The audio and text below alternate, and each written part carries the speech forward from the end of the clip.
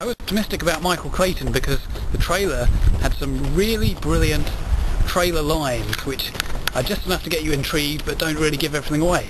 So I thought maybe they'll bring that level of cunning to the film. And uh, indeed the storytelling in the film does some enjoyably loopy stuff and is quite interesting to get your brain around. Uh, but at the end of the day it's fairly overlong, padded out and a bit disappointing.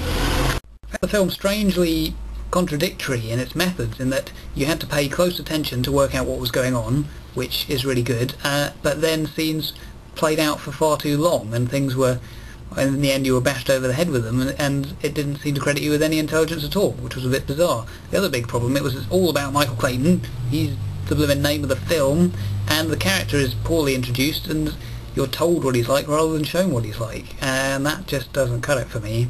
The criterion which I always try to address as a reviewer is whether or not the film lives up to what we were led to believe it would bring us. Uh, in this case the answer is no. These big red letters saying the truth can be adjusted doesn't deliver on that at all. It's good if you're interested in certain funny, interesting ways of storytelling in cinema. I enjoyed it for that, but overall, a dissatisfying film that hinges too much on, on an almost religious coincidence. Not very happy, really. We were shown a lot, but could see very little.